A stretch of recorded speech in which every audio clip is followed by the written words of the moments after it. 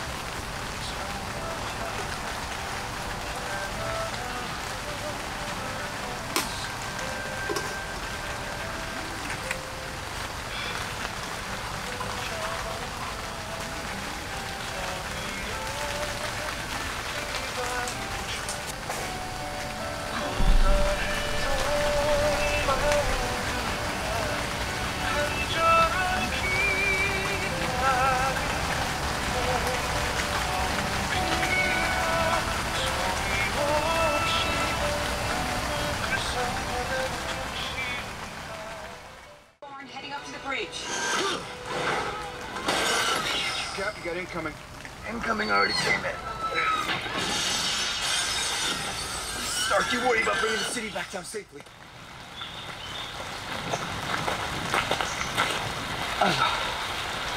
저희가 아침에 이렇게 조금 돌아다니는 이유는 궁금하기도 했고 그다음에 더 허기지게 만드는 거죠. 여러분. 오늘 아침에는 좀 이제 양이 많습니다. 먹을 양이 많아요 뭐 다람쥐님 입장에서는 양이 많다고 하는데 저는 뭐 그냥 뭐, 뭐 가볍게 먹을 수 있는 음. 그래 다람쥐님? 그것도 양떼목장도 아니고 양이 많어. 아침부터.